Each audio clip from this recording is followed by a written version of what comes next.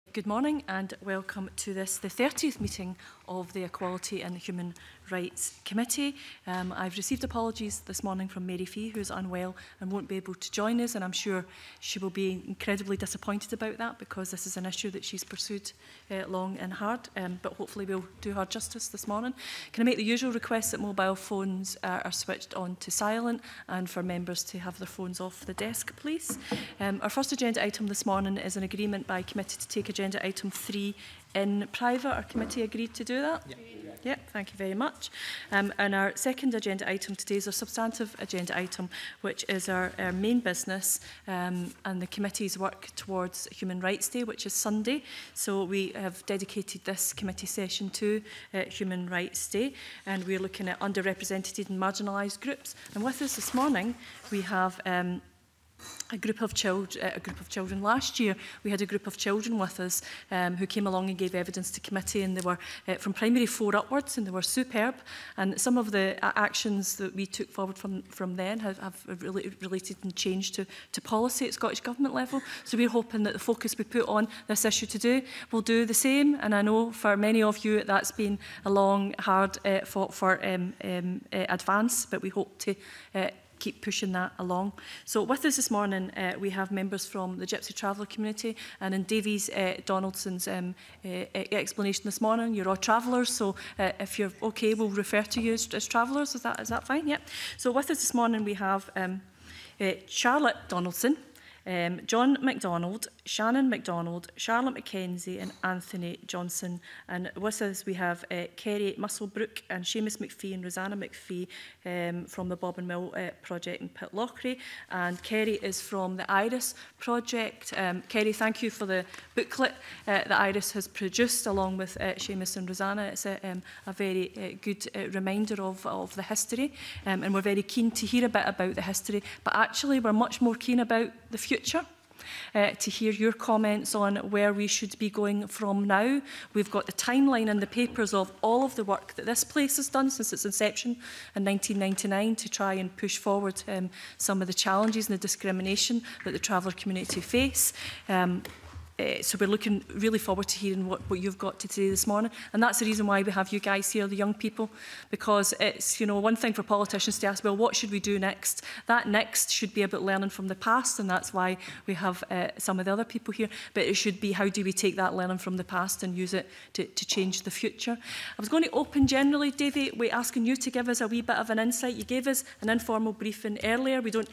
need to uh, do all of that, but if you can give us a wee bit of a, a briefing on where you think we're at that now, um, and we can then talk about how we move that forward to change uh, uh, and uh, end that type of discrimination that you're facing. Davy. So just now, um, very little's changed, to be honest. Um, I mean, certainly from everyone sitting around the table, um, I'm sure you can respect that, but from our perspective, speaking to my grandfather, nothing's changed. You know, if anything, things have got worse in certain areas. You know, people are, seem to be more um, inhospitable to folk camping. They seem to be more um, aggressive towards folk shifting and the nomadic behaviour than what my granddad received when he was younger. But certainly in regards to schooling, um, education, local authority, um, awareness of the culture as well as respect of the culture and society's respect and awareness, nothing's changed. It's remained stagnant completely. Um, where we're at just now, I mean, I did say it kind of informally in the last meeting, but we're at a point where you've got young travellers going to school, and the only reason they can access school is because they're hiding their ethnicity. We're at a point where I'm the only Scottish traveller that I know right now, currently at university. We're at a point where young travellers are having to really struggle to gain employment because of their ethnicity and they're being barred from certain types of employment, and there's many barriers um, to employment for travellers. We're at a point where the culture is being completely constricted to a degree where a lot of young travellers don't see it existing in the next 50 years. We're at a critical point. That's basically what I'm saying. Um, for the Scottish traveller community, we're at a completely critical point and we really, really need um, affirmative, strong action from government from the top down um, to actually impact in on local authorities and actually say, so look, this needs to be done. Not I'm recommending this to be done, because at the end of the day, the local authority will never follow up this. We've, we've seen that. That's been done for years, as you've been saying.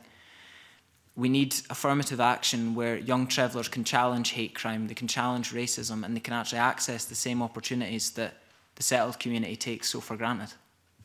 So that's where we are just now. Um, I'm sure we'll some of the other travellers around the table as well will want to add a lot to that. Um, but that's the summary of where we're at. Yeah. Mm -hmm. Is there any other uh, any of the other young people that want to say something now, or will we go into some questions and come back to you?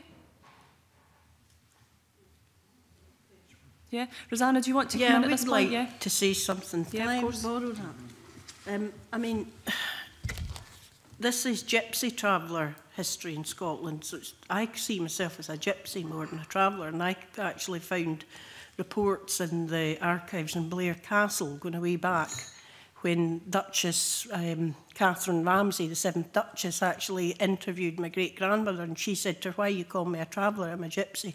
And I think the linguistics actually point to that. My brother's got a postgraduate from Warwick in linguistics with a merit of distinction and he um, gave evidence to the 208, 2008 case of Kay McLennan versus GTEP, which established, so did I, established ethnicity. So I think to keep saying we're all travellers or travellers, that, that's a matter for self-determination, really. I'd just like to say that. Plus, it's, things have changed because they've got worse. I, uh, that was me berry picking in 2000 and five, but by 2007 I was turned away because they didn't need me. Why did the farmers not need me? Oh, we don't need you because we're taking people in from Eastern Europe. Well, that's fair enough, but I came first and I was there since I was a child picking berries.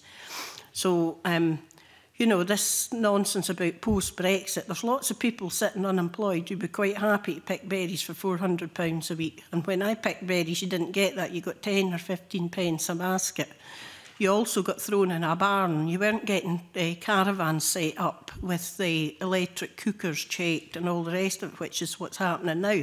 So I point to the fact, um, what Anthony's saying there in the previous session, that it's not a case of it's cheaper to take in Eastern migrant workers.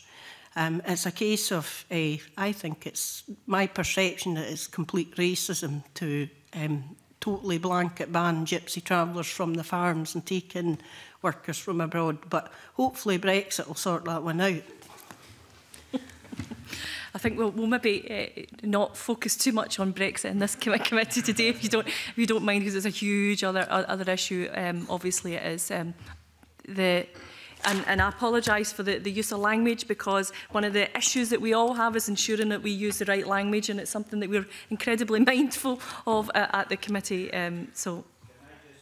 yeah, Seamus. Anna said there um, that, you know, there's actually been a reclamation of the term gypsy in certain quarters, um, just as there has been in Spain with Gitanos. They don't want to be seen as Roma. Um, and you know, both myself and Rosanna and other members of the Scottish Gypsy Traveller Association campaigned for inclusion of the term gypsy in the official designation which was adopted by the Parliament. Okay. Uh, uh, Davies already told me that his grandfather's a Manouche, so, you know, if we're all travellers, then, you know, how does that come to be? Of course. Um, mm. No, I think it's important. I think it is completely what Rosanna's saying. It's self-determination. Um, it's one of these things that you'll never get right because um, I'll always be a member of the community or an aspect of the community wants to be referred to as something else. Um, but certainly from my perception um, on the ground, th most people wouldn't take offence at being called a traveller. Um, so whereas people, you would get Scottish travellers who take great offence at being called a gypsy. So to me, it's more of a, I use it quite often because it's a, a more, uh, it's an easier term to not cause offence. can I just say, I wouldn't, take offence at being called a gypsy, but I would take offence at being called a traveller because it's identified with nomadism and not ethnicity. Okay. So being a gypsy means, you know, there are other characteristics that uh, determine who you are, linguistic, common ancestry, you know. um, common shared beliefs and, uh, and, and, you know, cultural values. Now, if you're saying you're just a traveller, that could be Julia Roberts going to a film premiere in Paris. It's a generic term. just as tinker is a restrictive occupational term. Now, Rosanna there's a head, ex-head of department, you know, in Plockton High School. And uh, I'm a translator, so I don't make tin. And yeah. to me, that's, you know, wholly inaccurate to yeah. use that as a pejorative term. Uh, we're grateful for the, the, the distinction, and you're absolutely right. When it comes to ethnicity, the distinction is, is, is what we need in law to ensure that we can push, push some of this forward. But if we can get into some of the substantive issues about how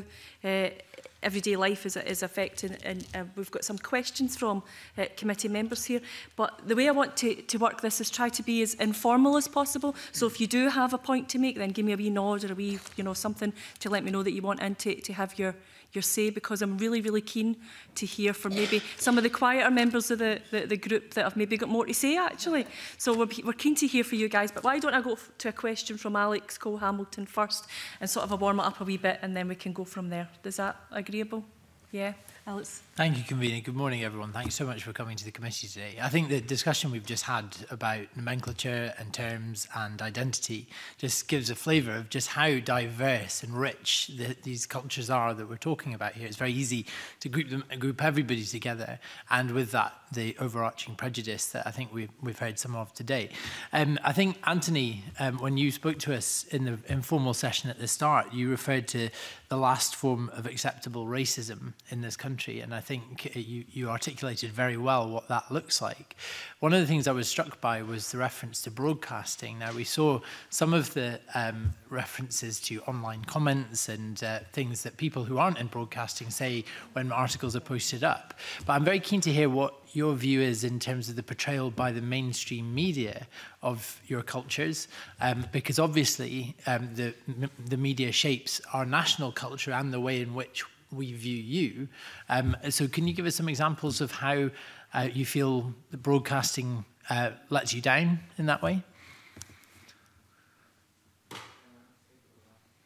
Anthony, do you want to? Uh, yeah. Um, well, us being travellers, obviously, we're uh, not secretive people, but obviously because we live our own and we do our own thing. Obviously, you know what I mean. Um, it's not that I'm not trying to say that been totally hurt up against, and we're not,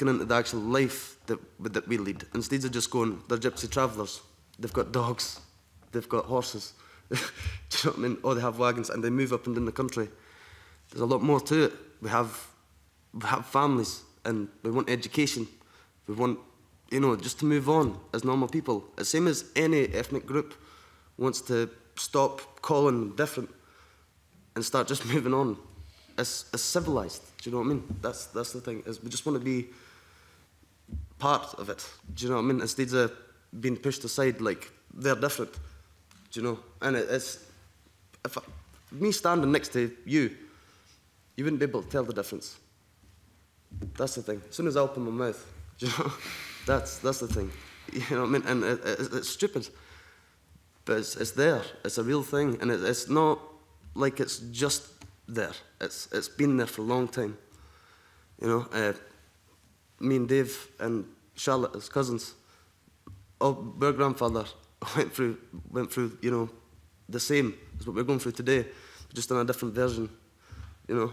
And, and we've got family there that's been serving the country and, and going in the army and things and leading the same kind of life as, as you know, anybody else would hope to and trying to, you know, stand up for their own country and, and, and move on and trying to get more integrated into it. And it doesn't happen as easy as you think. You know, there's always a there's always a case, and I, I know. I, please don't think I'm just giving you a sob story and asking for something.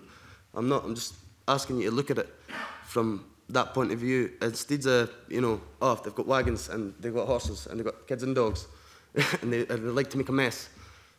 It's not just that case. It's we we have people that stay in houses there's lots of us, the Stenhouses, there's lots of us that give up our heritage, where we come from, just so we can be normal, if you know what I mean. That's, that's the thing. And, and we're giving up that because of that one wee nicky bit of racism, because it's easier for us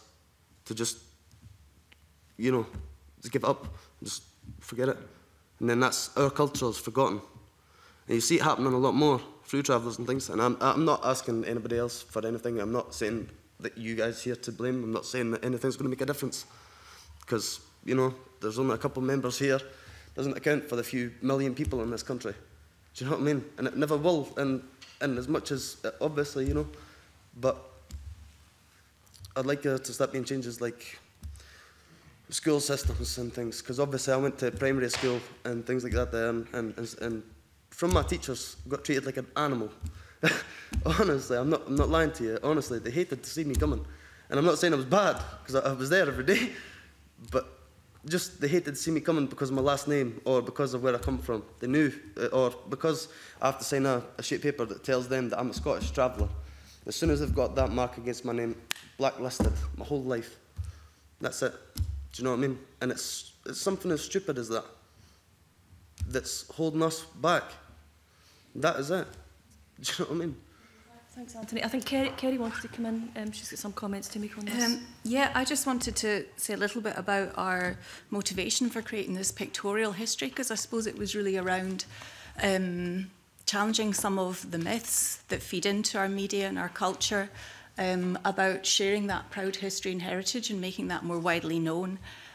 um, and acknowledging the past because while we all want to move forward, I think there is an issue there about acknowledging past wrongs and appreciating sort of um, the suspicion and mistrust between gypsy travellers and a lot of public services because they have been treated badly and it's all there.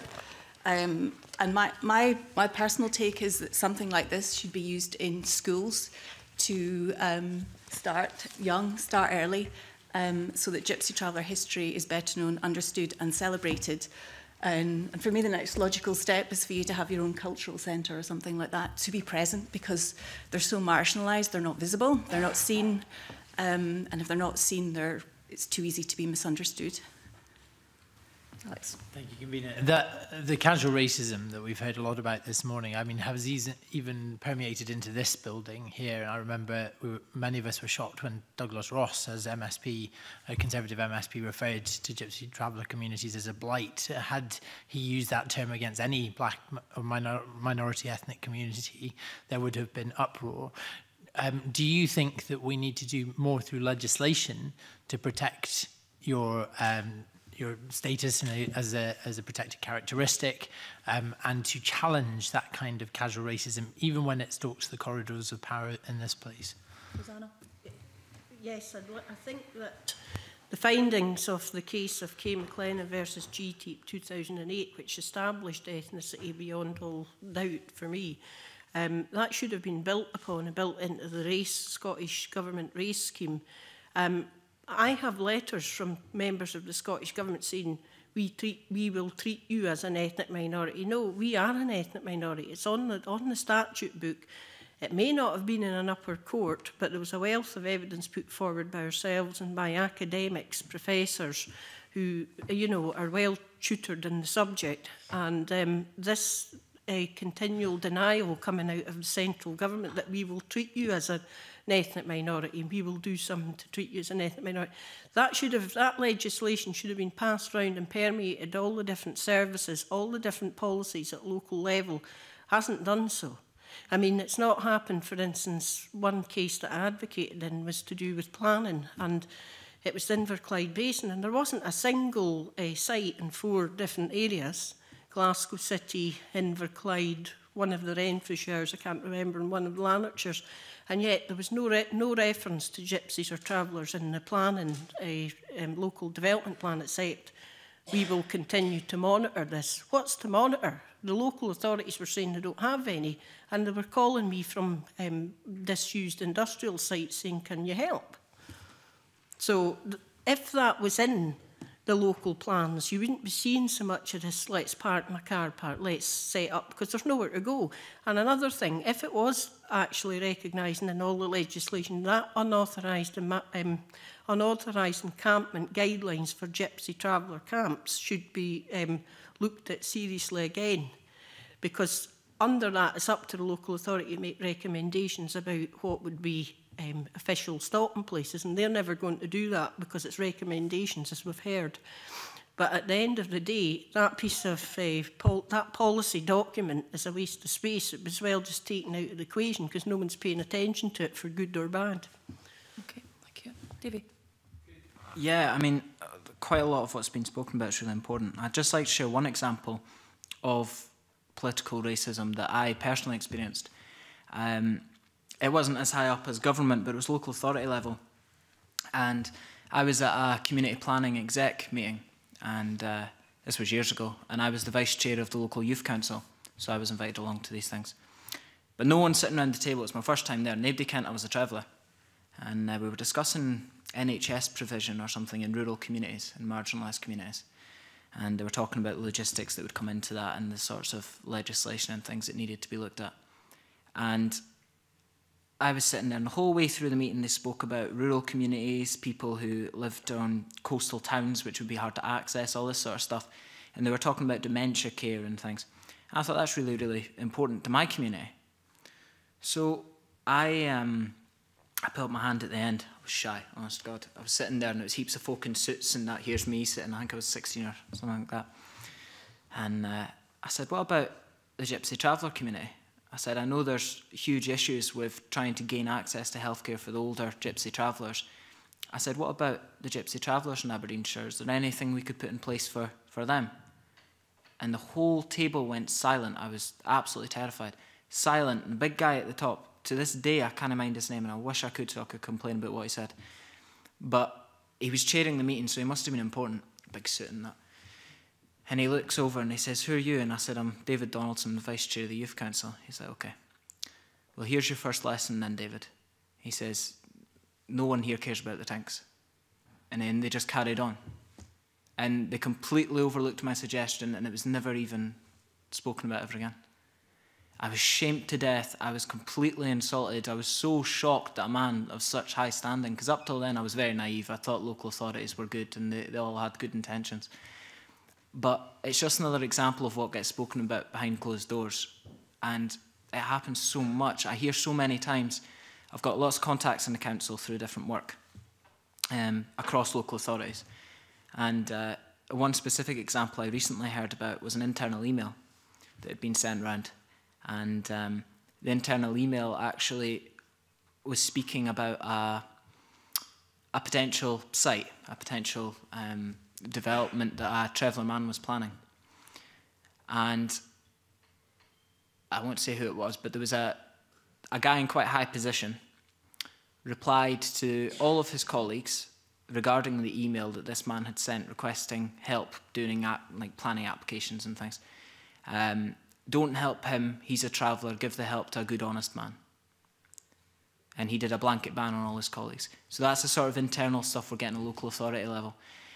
I mean, I'm still naive enough to hope that it's not existent at this sort of level. However, Douglas Ross really did dash that, those hopes, and I know on the ground his comments really did impact on a lot of travellers living in Murray. Um, so that's, that's my perception of the political aspect to it. Colleagues, questions? have one more. Alec, oh, do you want to come back in? Yes, uh, thank you, Convener. This is on a slightly different area. Um, we've talked a bit about access to services, particularly um, the barriers that you encounter to access to mainstream services despite paying council tax and, and the other uh, charges that um, you pay and as uh, you would expect to benefit as everybody else does in society. I'm interested most in um, in access to healthcare and particularly um, mental health services because particularly and, and I accept there different cultures at the table here, but for those who have a nomadic way of life, um, where perhaps it, you're not registered with a particular GP practice, um, and and then you may also experience additional complications, particularly around mental health, given you know the the, the barriers and significant challenges you face. Um, could you give us any, a, a flavour of, of how difficult that is and, and how you get around it? Could I? Sorry. Yeah. yeah. Um, there are significant issues um, when it comes to healthcare and healthcare provision. Um, a lot of the travellers I know who live in houses have moved into houses to access healthcare, um, and that's from sites that's not even been on the road. Um, on the road, it is increasingly difficult. You've got this level of scrutiny that's getting given to GP practices where they can. It's almost as if they're sort of the, an authoritarian approach on who gets registered with them. And if you're only there for a couple of days and you're shifting on somewhere else, it's very difficult to get registered. I've had countless discussions with um, people in the NHS of all different levels, and they all clearly say to me, Oh, yes, but on the road you can definitely go to this practice, and there's no issues with that. There is issues. If you speak to people on the ground who are actually shifted and need to access a GP, there are issues. You can't do it. It's, it's really, really difficult. The folk make it so difficult for you, most people don't even try.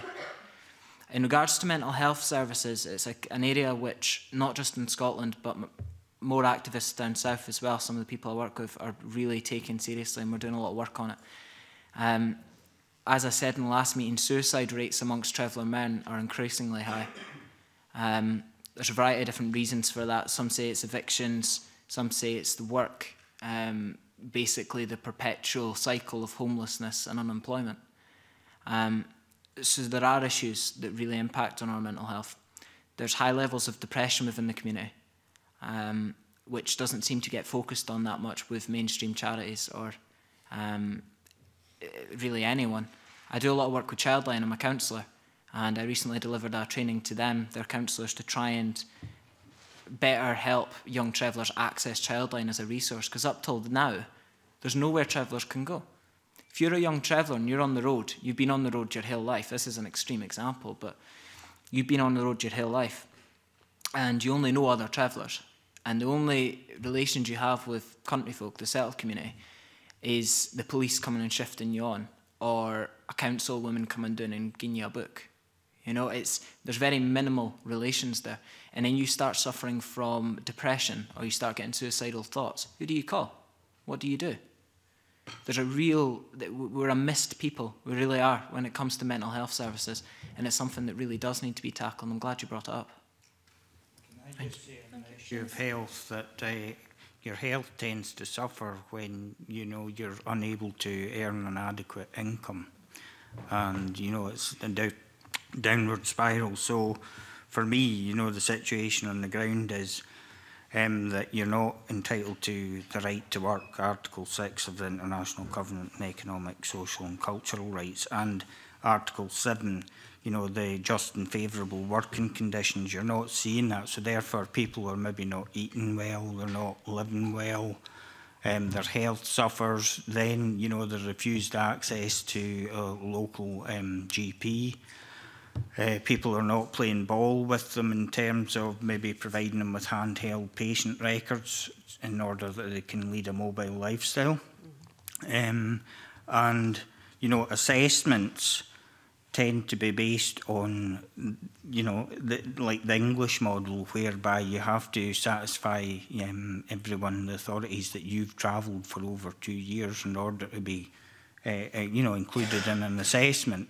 And I wouldn't like to see that replicated in Scotland because that's the danger of being viewed as a traveller, that after two years um, you lose your status and you're no longer included in assessments for anything, housing, eh, you know, healthcare, anything.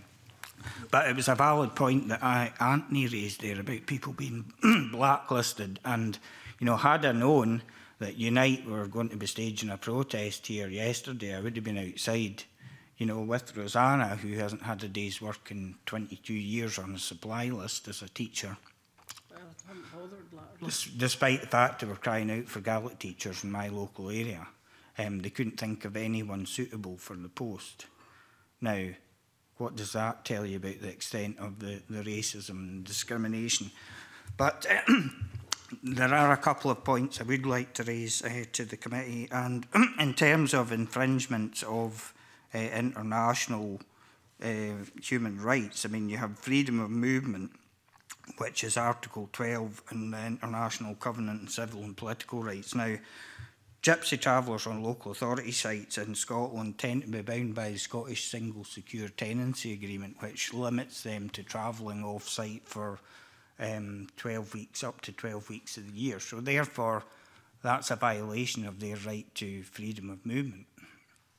If they can only go off site for 12 weeks of the year before forfeiting their tenancy on a local authority site, then, you know, that uh, is, to me is an impediment to them leading their cultural lifestyle. Uh, also, um, with the right to work, you've got blanket unemployment on sites that show sedentariness does not work. Mm. And, you know, there's a mobile workforce. I think this is one of the points Rosanna and other people have driven, that there is a mobile workforce at your disposal um, who would much rather be travelling around the country doing work on berry farms or whatever if it was there as a sustainable income. Um, also, the right to self-determination recognises the negative right of a people not to be deprived of its means of subsistence. Mm -hmm. Now, that has implications for, in terms of, you know, how gypsy travellers are treated in Scotland. So there's another violation. Now, what do we intend to do about these violations? That's the question, as far as I'm concerned. Can, can I come back to the health issue?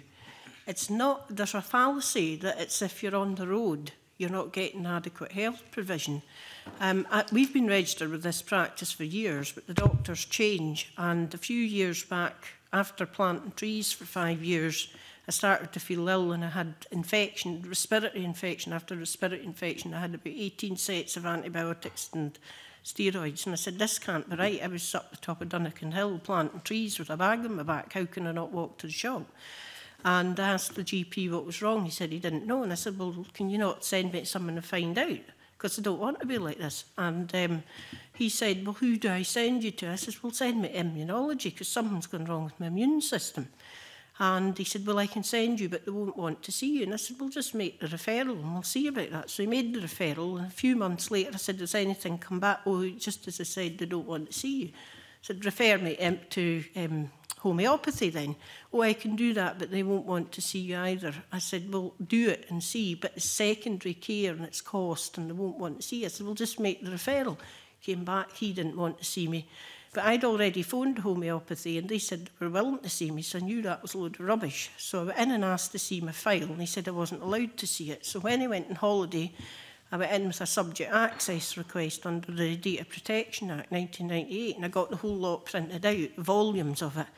Very interesting reading. Um, he'd sent a letter to the chief exec saying that I was a local traveller and quite politically active. And then I got a letter a week or so later saying, I'm sorry, there's nothing more we can do for you. So I presume that all MSPs here are not getting secondary level care because you're politically active. wow, thank you. Thank you, Convener. Gail Ross. Um, thank you, Convener. Um, first of all, I want to thank you all for coming. Um, I don't know if I was um, unbelievably naive before we started this morning's session, but a lot of the evidence that I've heard has absolutely horrified me. and made me quite angry, actually, that we are still living in a society that allows things like this to happen. Um, I've only been a member of this committee since Easter. And one of the first things I did when I joined was had a, a, a private session with Mary Fee about the Gypsy Traveller community.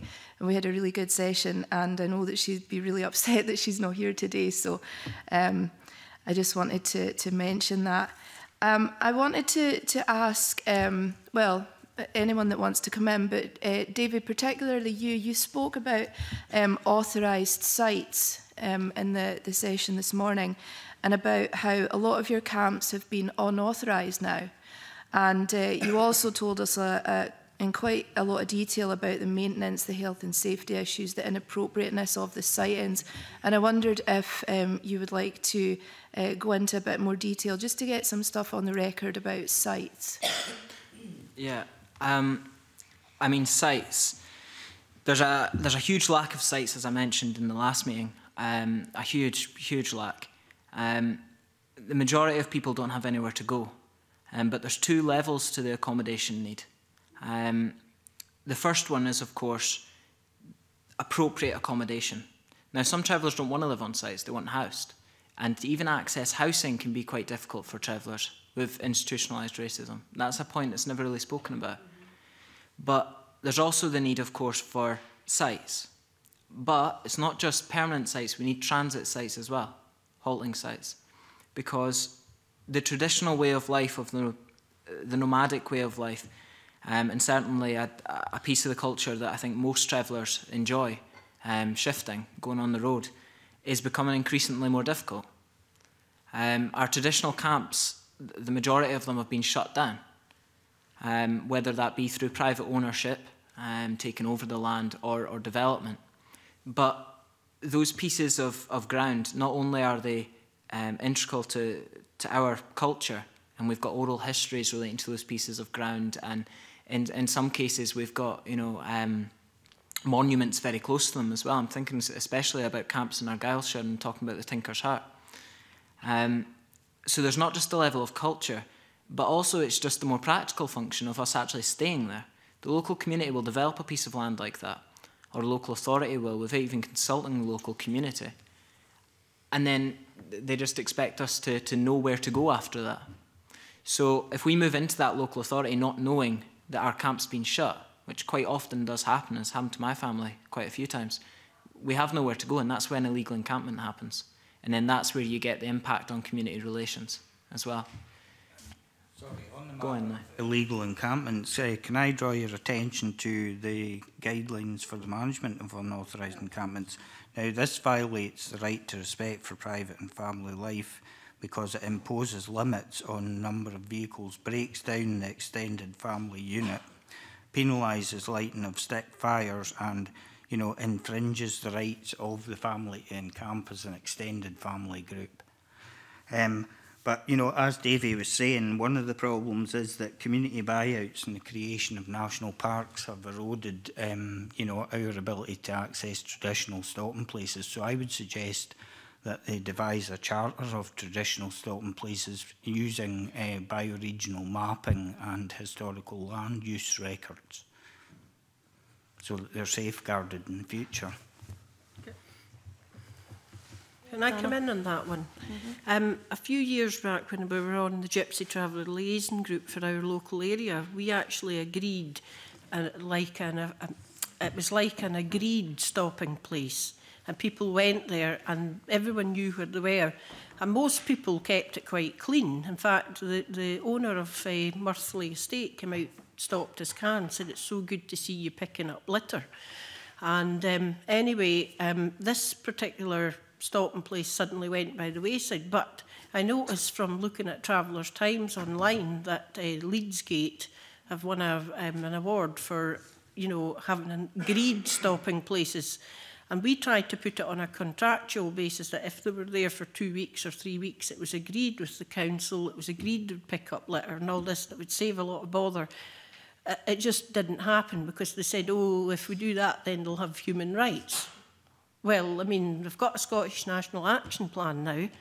Presumably, after all the money invested in it, it's going to be implemented at some point, although we don't know with Brexit. But at the end of the day, if you've got human rights, wasn't that a sensible pilot to have in a few regions? Couldn't it be a sensible pilot? And let's see if it saves 12 million in pick-up costs. Because they actually knew the one family out of the eight that made the mess, they told me. But instead of putting that family out, and saying, right, you, we're doing you for, you know, littering up the place. They didn't do that. They didn't call the police and they didn't charge them. They put all that out and then a big picture appeared in the local press, going back to what you said. And it was totally distorted because it made out everyone in that lay-by did this and they didn't. There was one family out of the eight that, that made the mess. And they were, they were quite blatant about it. But then if they'd been moved on, the rest were quite tidy.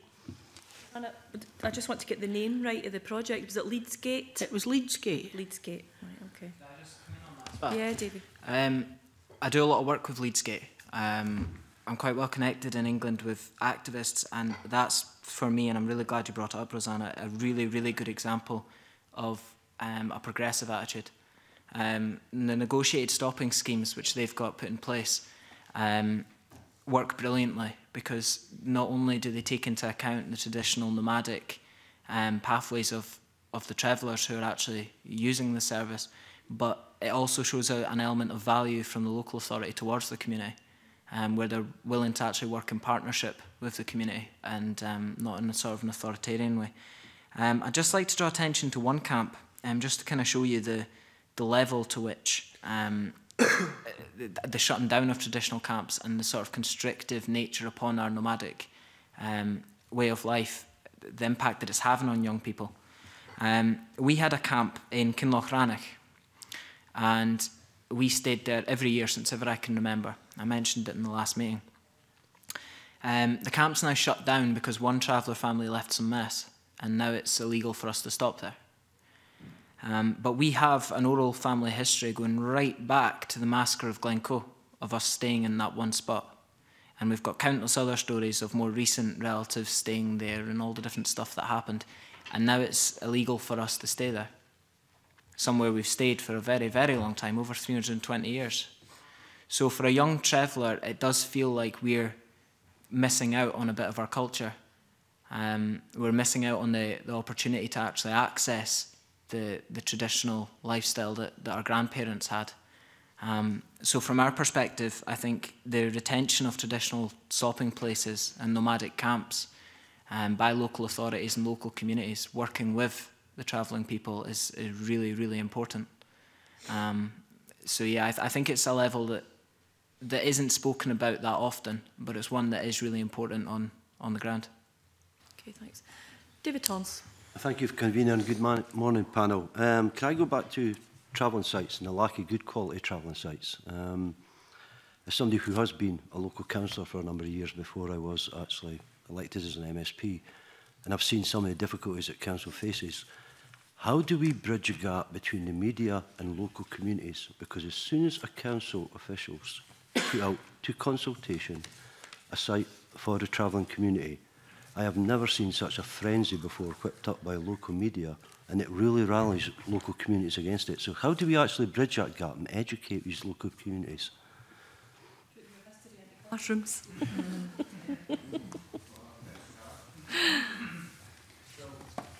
Anthony. Um, well, speaking from somebody who's stayed on a site, I've stayed on a site most of my life. In fact, half a mile from here in um, Craig Miller, Duddingston. just there. I stayed there for six years.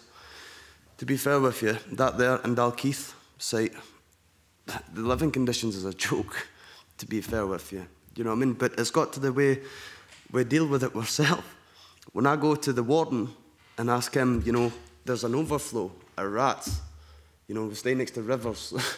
it's, it's, it's a joke, as I said, you know what I mean? It's funny to, to everybody else, you know, but we deal with it ourselves. They turn around, if I go to the warden, as I said,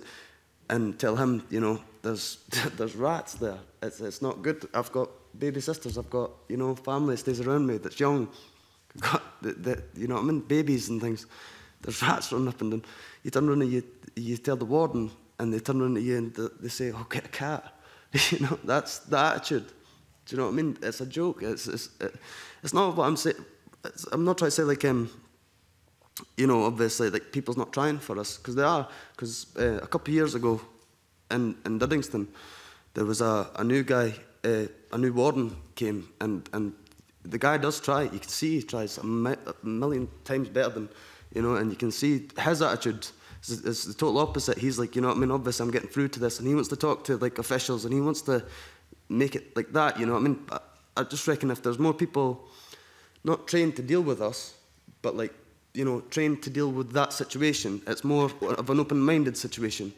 If they're, if they're trained to deal with things like that, instead of being, you know, cut off and just say, no, nah, well, it's not my problem anyway. I know everybody's got a job and, and, you know, we all like to, you know, make it easier for ourselves. But, like, I just reckon if, um, you know, people like that, like, that's put in a position to deal with us, I reckon if, if, if the right people or if they've got, like, um, the right training to deal with us, you know, I, I reckon it'd be a lot better. You, do you think that sense. would answer David Torrance's question as far as bridging that gap? Bridging but the breaking, gap, yeah. Breaking down some of the stereotypes, breaking down some of the, the, the clear uh, uh, um, institutional and, and direct and non-direct discrimination that goes on, yeah. some of the education that needs to go on in schools uh, for, for, for you know people to understand the difference in, in cultures. We do this already. We do this when it comes to race. We do it when it comes to gender. We do it when it comes to sexual orientation. You know, what, wh why is there a missing link here? And that's the point. If we get that missing link right, then we we should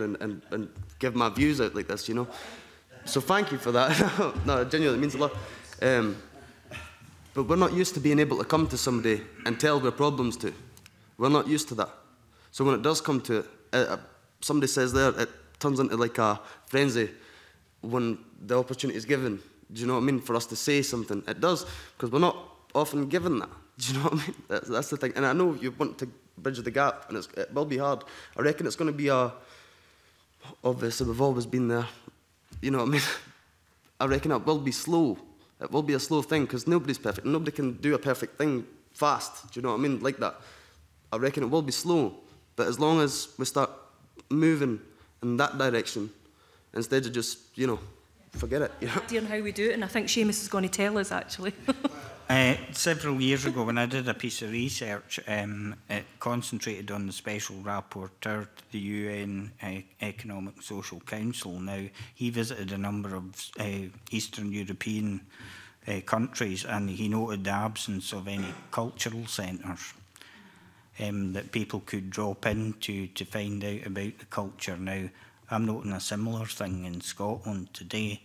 You know, there are centres for every other group imaginable, but I don't see anything in terms of um, encouraging or fostering intercultural pedagogy. Um, it's a bit like the Enlightenment never happened in terms of Gypsy travellers. You know, it's, you're seeing almost Goya's Capriccio, um, El Sueño de la Razón produce Monstros, which is the sleep of reason begets monsters. right? Uh, and everybody's got their head buried in the sand, seeing all these bats and things. And that's what we're seeing in terms of our community, because that's never been addressed. And so the attitudes are still steeped in medieval thinking. Um, Uh, you know, and Rosanna has something to say about uh, the treatment of gypsy travellers and uh, recourse to, you know, lodging something with the Press Complaints Commission. Yeah, I actually did get a successful uh, case upheld by the Broadcasting Standards Commission many years ago about a local radio station Um, but the Press Complaints Commission, they're not covered by the, they were never covered by the Race Relations or Race Relations Amendment Act, so they were opting, opting out and deciding how to um, self-police themselves, as it were. But the point is, it shouldn't be up to the council to tilt at uh, windmills to like Don Quixote. Can we go down there with the media? It shouldn't be up to the council because the, the um, responsibility for the press and media lies again with the state party and the central government. They've got a duty to ensure under various human rights um, instruments, um, Framework Convention, European Convention on Human Rights, various ones that um, no, the press, the national press and the national media do not revile any one group. And they, they haven't been doing their job, I'm afraid. So that shouldn't be passed down to the council to do. The council's simply there to do their job as council officers and appreciate that the, the community councillors and the local councillors will put that on you. But at the end of the day, you're, you're hired as a council officer to do a particular job. You just go and do your job. You shouldn't have to sell something to the press or the media. That's a matter for the state party to deal with. David.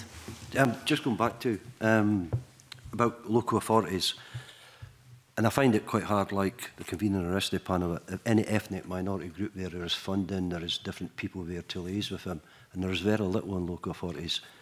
And I know how hard I worked with Jess Smith to get a Tinker's Heart uh, recognised um, and to save it, actually. And how hard that was even to get that uh, through legislation to get it recognised. Do, and this is going to be difficult, does central government need to have a firmer hand on local authorities? Because then COSLA will come back to us and say, you shouldn't be interfering. Because uh, I had this conversation with Joanne Lamont several years ago when um, the COSLA representative was present. And, uh, you know, I stressed that she said they were autonomous. And I said, well, they get, is it around 86% of their funding from central government? So you must have some clout over them and some input into how they conduct matters. Mm -hmm. So that's my answer you know, if they receive most of their funding from central government, then, you know, that gives you leverage to say, unless you perk up, we'll restrict your funding, your ability to access that. There is legal frameworks there as well that, that we've spoken about, all the articles that, that we should be uh, using uh, in order to, to have some leverage over any organisation, whether it's a health board or a local authority. And one of the reasons why, uh, when this committee was, was reconvened after 2016 election with a new remit, and that remit being uh, some of the new conferred powers and human rights, was why we wanted to take a, a refreshed look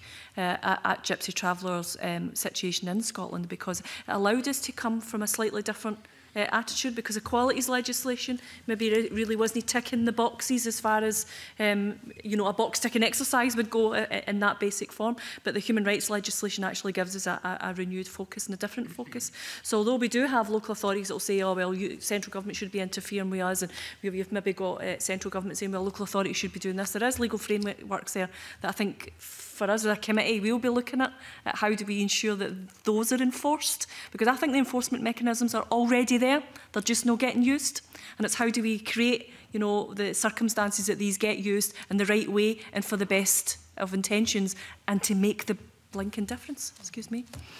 I'll move that. um, so yeah, I think I think it's really important what we're speaking about and the gap um, between local authority and the community on a ground level.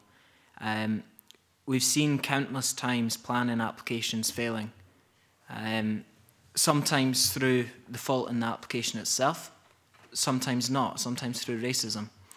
But to me, it's common sense for a local authority. Now, local authorities are skint. I know that because, well, everyone knows that, but sitting in a meeting, the amount of moaning a local authority does, honest to God. See if you could channel that energy into tackling racism. We wouldn't be sitting here today, honestly. But yeah, so they can they complain a lot, but they, they overlook opportunities, not just to save money or to fondle to fondle, oh Lord, to, to found relations with the community, but also to actually just be good, upstanding people.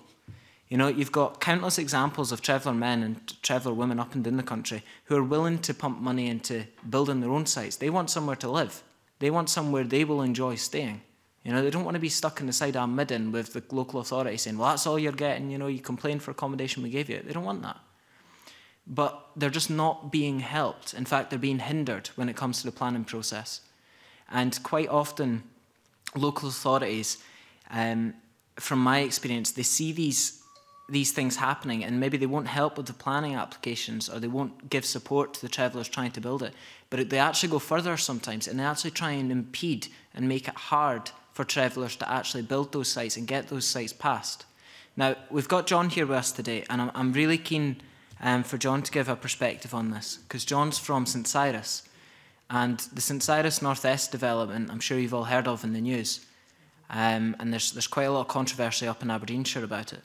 Um, but it, to me, is a prime example of a site being built that's good for the community. Um, I'm not going to go into the planning process, but it's one of those times where the local authority just hasn't helped at the foundation stage. And now it's got to a level at which they're arguing with SEPA, and SEPA's involved, and there's, there's a lot of different things involved, and it's really difficult, and there's a lot of tension in Aberdeenshire, and there's a lot of um, difficulty within the families as well in regards to potentially being made homeless. So if I could give John, yeah. Yep.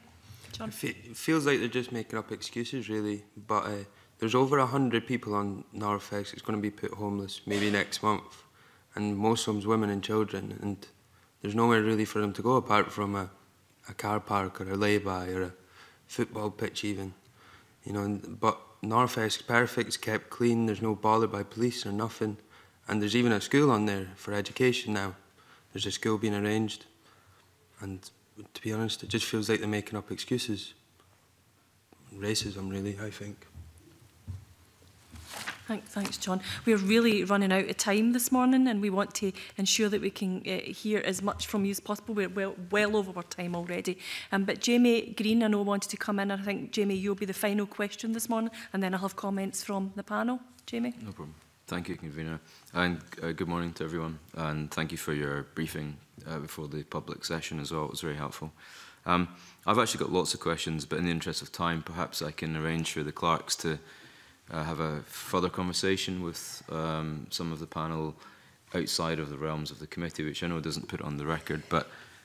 I would find very helpful. Uh, lots of very specific questions that I think would be helpful for me to understand. So I'll take it more wide in this respect. I mean, we've been talking about this issue really since the uh, opening of this parliament. I've been looking at the track record. I'm quite new to this parliament and quite new to this committee. So I've gone back through the, the timeline of events and, and all the various things that have happened, inquiry in 2001, a review of the inquiry in 2005, which was quite critical, I, I note, a working group in 2006, a round table in 2009. I think you see where I'm going with this question. Um, I'm feeling a bit of deja vu in that respect, and whilst I'm extremely hopeful that the makeup of this committee will make some very positive steps and moves forward, how do you feel about it? I, I mean, as, as the, the Anthony Johnson said, we're just a small handful of people in a country of many millions, and whilst we're politicians, realistically, what can this committee achieve so that we're not looking back in 17 years having exactly the same conversation? Attempt to tackle the populist view that, you know, we are a bunch of parasites who subsist on the thrifting industry of others. And the way in which they can do that is by embracing the European Commission's recommendation that there should be activation in terms of employment so that the society in general, you know, wider society can see our usefulness. Now, we've been a resource to the Scottish economy for centuries in the past, and then all of a sudden we're binned. You know, um, we're frozen out of the employment arena. It's almost like looking at Hungary, where there's almost 100% unemployment in Roma who have been placed in ghettos and sedentarised. So, you know, I think you need to try to uh, steer the, the uh, treatment of gypsy travellers, you know, down a different route and encourage, um, you know, nomadism again. Could I comment on that? Um, yeah, I think what Seamus is saying about employment is really important. Um, but there's also a level where a lot of travellers, certainly in my family, um, they'll do work like landscaping work or roofing or mobile trades trades that you can take with you if you shift or if you want to up sticks and go to another part of the country. Um, and quite often, as Anthony said in the last meeting, um, these trades are taught by fathers to their sons and it gets passed down like that. There's never really a stage at which a traveller baron would think of going to college or to go to a different apprenticeship, but they would usually learn from their dad. And with that there it's it's it's a trade which is learned and, and the traveller band would, would usually use that going up through life. But there's so many issues with it in that a lot of people, um, a lot of traveller folk who, who learn those trades, they might learn mistakes from their dads. So sometimes you get shoddy workmanship and you do. And some travellers do. Um, like every community. There's shoddy workmen in the settled community as well. Um, but for whatever reason, we get tarred with the brush of maybe that one shoddy person.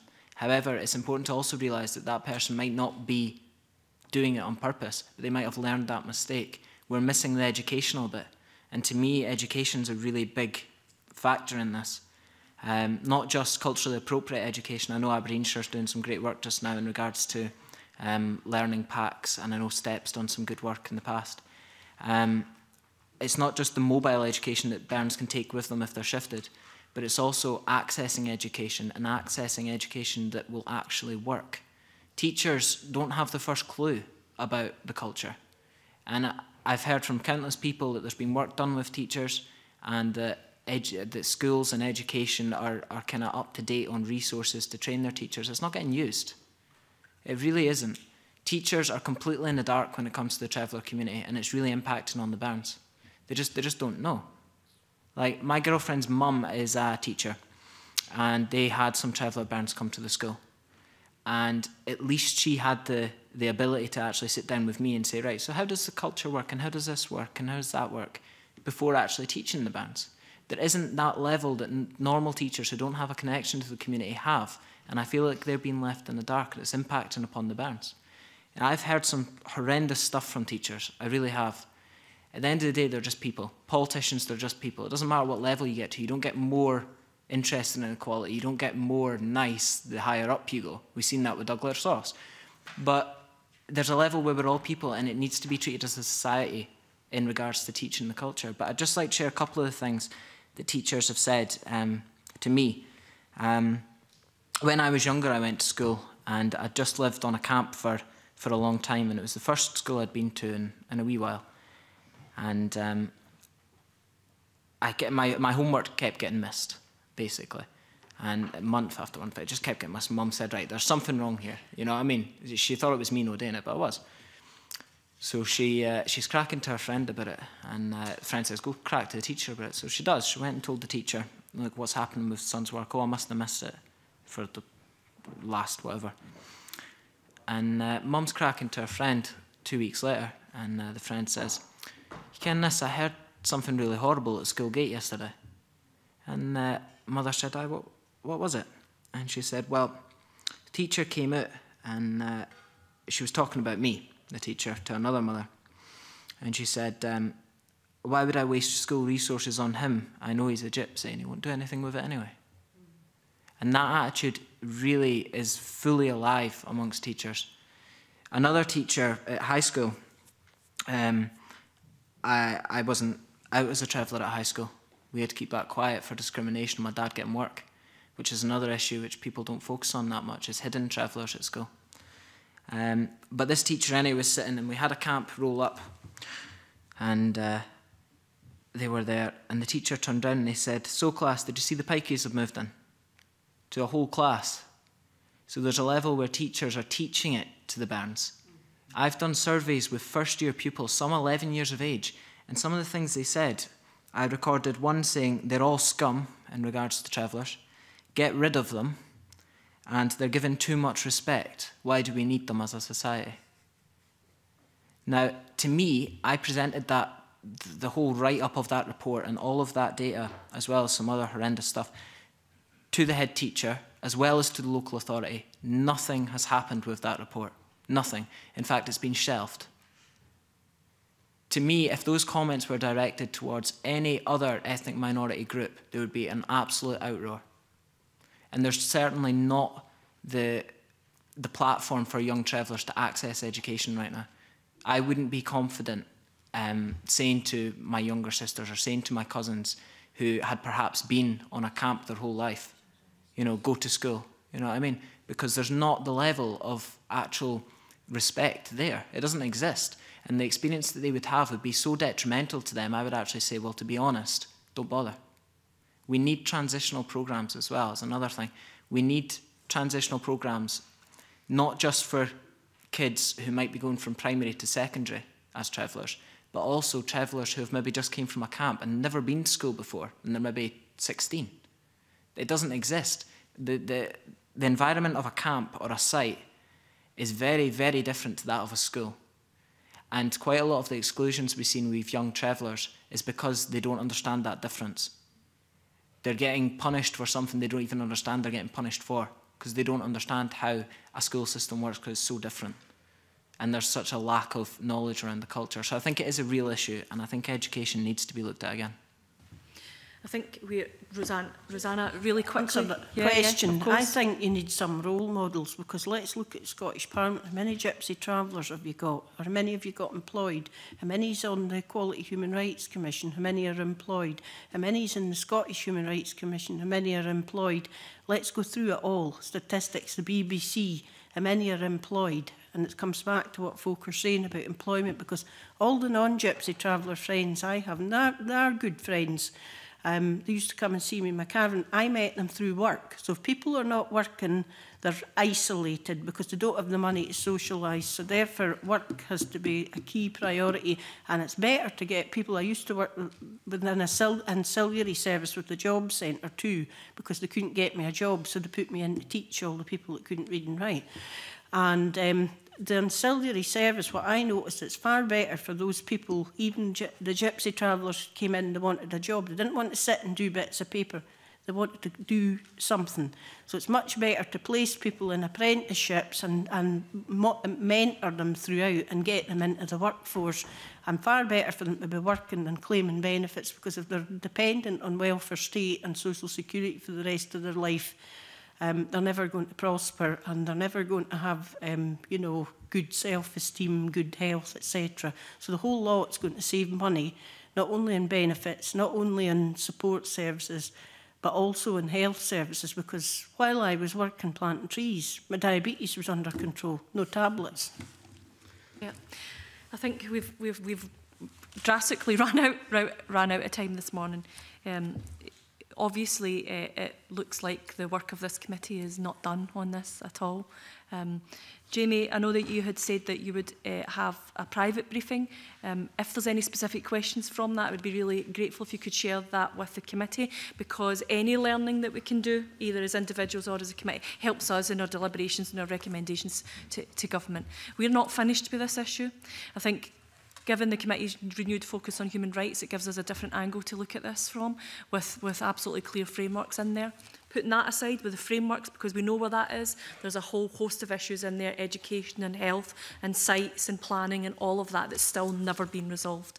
And some of the clear uh, institutional racism that's going on there, that's certainly of interest to this committee. So if you go away and you think I should have said this or I should have told them that, please write to us and let us know. We will be really grateful to have that, that information. Uh, we will probably speak to you again because, as I say, uh, this issue is not finished for us by any stretch of the imagination. Uh, next week, the Scottish Government have a debate on the race equality framework, and I've been reassured that there's a whole um, section in that on Gypsy Travellers um, in a response to some of the work that's been done over the years. Uh, there'll be a, a debate on that next week, and the, I think it's the, the reports, the, the strategy's been launched in the morning, uh, as far as I know. And there's a debate, no doubt many of us will take part in that next week. So if you've got specific points that you think that we should be raising in the Chamber on your behalf, then I'm sure as committee members we would be happy to, to do that too. Um, but we're very grateful for your evidence this morning. Thank you so much for, for coming along. I know some of, them, some of you didn't have your say, but I think you've got lots to say. And if you've got a way to say it in a different way, instead of being com coming to committee, then um, we're, we'll be uh, pleased to hear that too. Um, but thank you so much and best of luck with everything that you're doing and best of luck with, with everything that you, you guys are doing as well because it really helps. Um, and uh, I'm going to end committee at that point and I think I'm going into private session. session.